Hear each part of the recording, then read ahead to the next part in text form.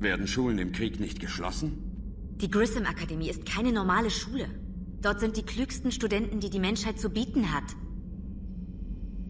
Ihr Ascension-Projekt ist die beste Ausbildungsstätte der Galaxie für biotische Menschen. Es ist keine gewöhnliche Schule. Sie arbeiten dort wahrscheinlich auch für die Allianz. Was können wir tun? Ein Transporter der Torianer wollte sie nach ihrem Notsignal evakuieren. Also müssen wir eigentlich nichts tun. Aber das Torianer-Signal war irgendwie seltsam. Edi hat es analysiert. Es war gefälscht. Edi verdächtigt Cerberus wegen der Ähnlichkeit mit den gefälschten Verschlüsselungsprotokollen. Ich glaub's Ihnen schon. Egal. Wir sollten jedenfalls glauben, dass die Grissom-Akademie evakuiert wird. Ich glaube, sie sind noch immer in Gefahr. Gut gemacht. Wenn es wirklich Cerberus ist, könnte es sich lohnen, der Sache nachzugehen. Oder es ist eine gezielte Fehlinformation. Trainer, gut gemacht. Danke, Commander.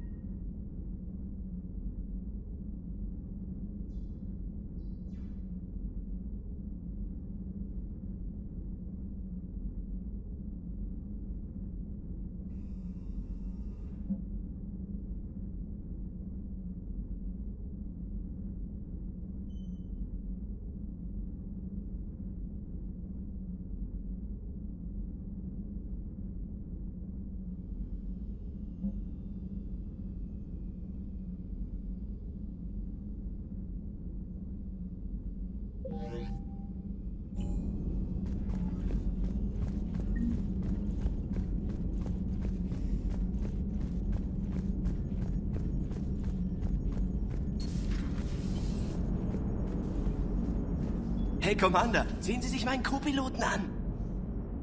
Hat sie sich selbst in dem Körper installiert, ohne Ihre Hilfe? Commander, vertrauen Sie mir etwa nicht? Okay, sagen wir es so. Hätte ich gewusst, dass Edi sich in einem sexy Roboterkörper installiert, hätte ich dann wohl meinen Mund gehalten? Sehen Sie doch. Ich hätte einen Kuchen gebacken. Ich bin hier, Jeff. Ja, das sind Sie, Edi. Das sind Sie.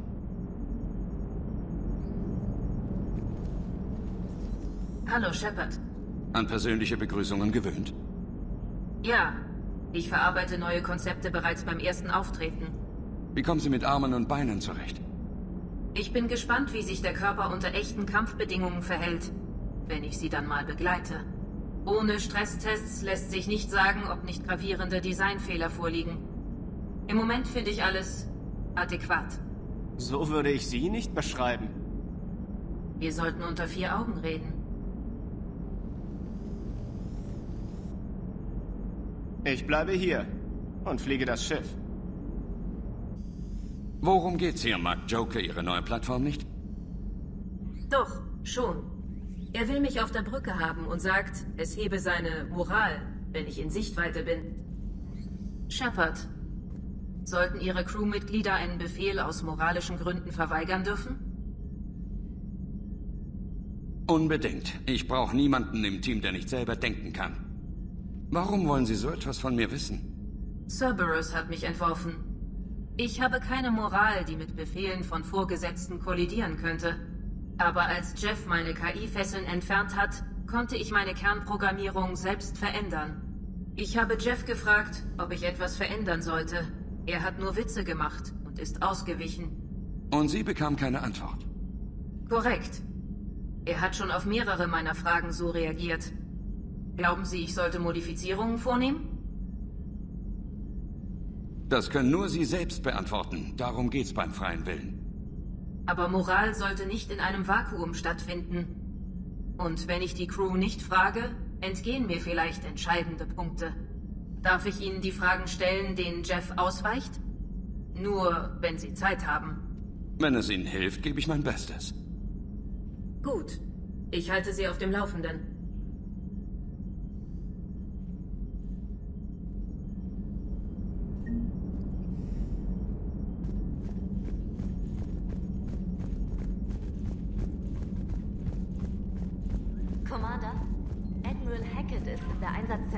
Videoleitung verfügbar. Der Primarch scheint ein ehrbarer Mann zu sein. Er wird sein Volk schon in die richtige Richtung lenken. Er ist ein ehrbarer Mann, dessen Heimatwelt in Flammen steht.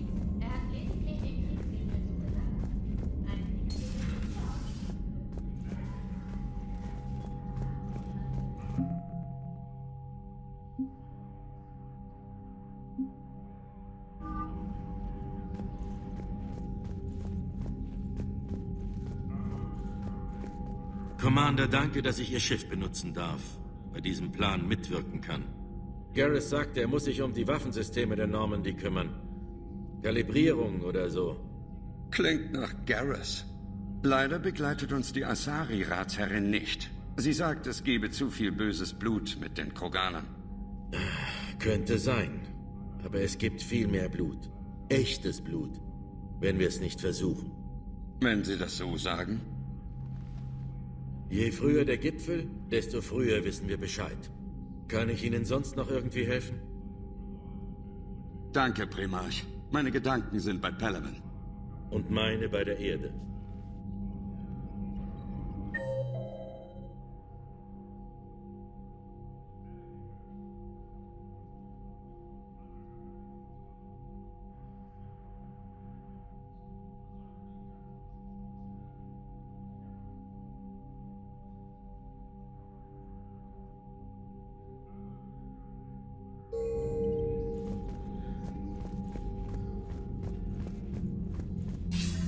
Commander, haben Sie den Primarchen zu Ihrem Gipfel gebracht?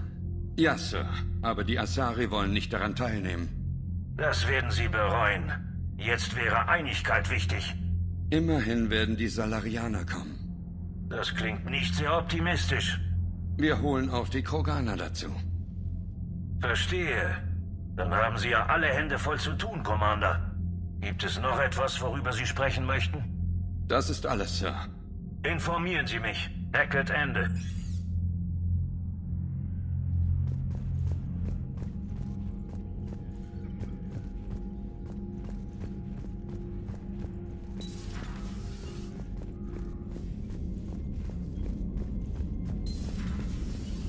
Commander Shepard?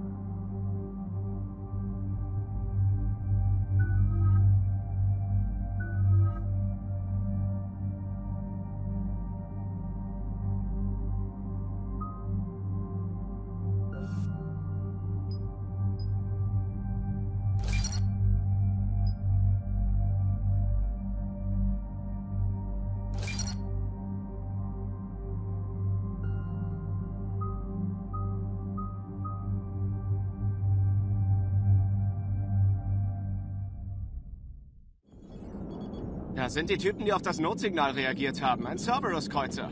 Und mindestens ein Dutzend Abfangjäger. Zu viele für einen direkten Kampf. Wir wollen den Laden wohl unbedingt. Empfange eingehende Übertragung. Ich höre. SSW Normandy, hier ist Kaylee Sanders, Direktorin der Grissom Akademie. Wir brauchen sofort Hilfe. Cerberus greift die Anlage an. Sie wollen meine Studenten. Hier, Commander Shepard. Der direkte Zugang ist blockiert. Ich weiß, Sie kontrollieren unsere Andockbuchten. Alternativen? Ein Hilfsfrachtraum, den ich wohl öffnen kann. Gut, wir kommen mit dem Shuttle und holen Ihre Studenten da raus. Joker, können Sie sie ablenken? Aber hallo.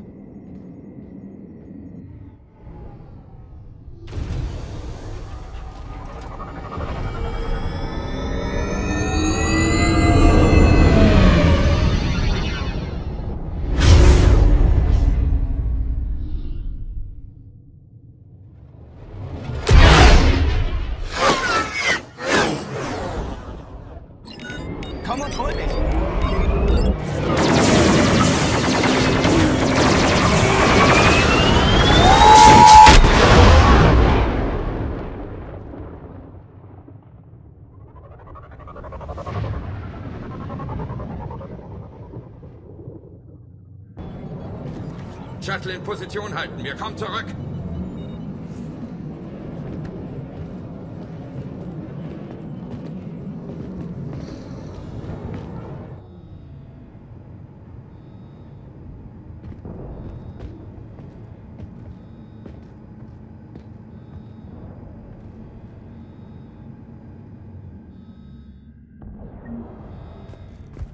Commander, ich habe mich in einem Serverraum um die Ecke eingeschlossen. Cerberus-Truppen versuchen einzudringen.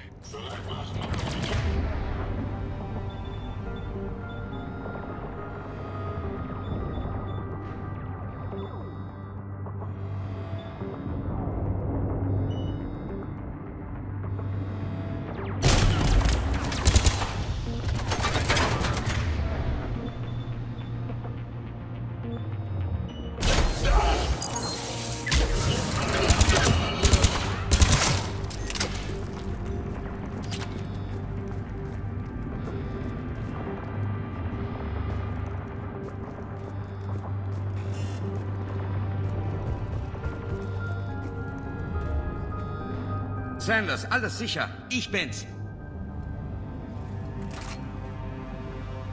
Vielen Dank. Admiral Anderson hat immer gesagt, Sie wären der Beste. Und den brauche ich auch. Denn Cerberus will meine Studenten. Wie viele sind Sie denn? Weniger als 20. Die meisten wurden wegen der Reaper-Invasion heimgeschickt. Aber einige blieben freiwillig, um der Allianz mit Tech-Prototypen zu helfen. Andere sind Biotiker. Sie wurden für Militäroperationen ausgebildet als sogenannte biotische Artillerie. Ein paar Monate mit Übungspuppen bereiten Ihre Studenten nicht auf den Krieg vor. Stimmt. Aber die Allianz braucht alle verfügbaren Ressourcen. Und unsere Studenten sind spezielle Ressourcen. Sie wollten helfen. Die Galaxie zerbricht. Wie konnten wir ihnen das verweigern? Warten Sie.